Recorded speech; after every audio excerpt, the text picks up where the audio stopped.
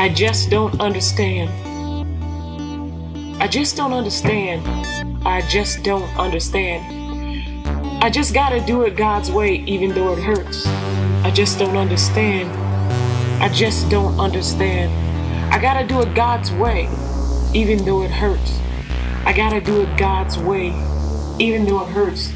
Taking a life is not my verse. They don't understand what they did hurt my mind. I didn't know how a gift could be violated like this. Not everyone gets a blessing like this. Ten fingers, ten toes, all in the right places. No sickness, no disease. God's gift. Blessing. I came in from work. There she was, perched on his left leg, coloring a page. He kissing her cheek, her neck, speaking softly in her ear, disgusted. Come here, baby. Let's go find mommy, I said. She left her with me, he said. Tears filled my heart, my eyes. She looked so scared, uncomfortable, her eyes growing red as he pressed. Rage filled my head.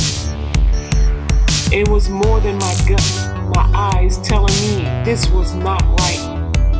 I wanted to put my fist through his back and rip out his heart. I gotta do it God's way, even though it hurts. I just don't understand. I just don't understand. He acted like he didn't hear me come in. He kissed her neck over and over again. Come on, baby. I reached for her. He flexed and pulled her close, slid her between his legs as he continued to sway his legs to and fro. It's like I was a ghost, no authority to post. Anger shot through me like a rocket. My hands became unsteady. Death is his. How do I kill him without hurting her? I just gotta do it God's way, even though it hurts. Even though it hurts. Even though it hurts. I went to my room to call her mother.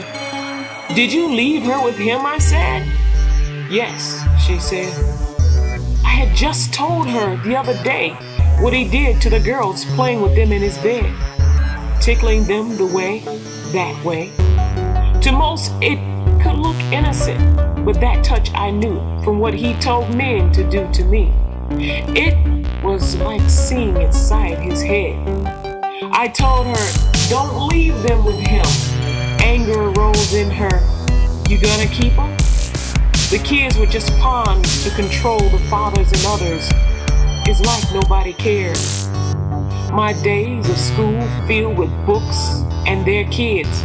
Out of college, taking any job I could, temping, working, anywhere, commission even, in between keeping their kids.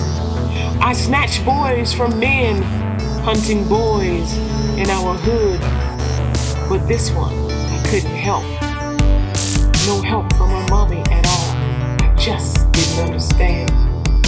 No authority would help Innocent people convicted for 20 years, all the time for something they never did. I told her what I saw and what he did.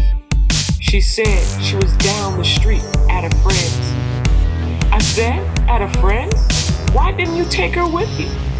She said, I was only gone for a minute. Are you coming? I asked.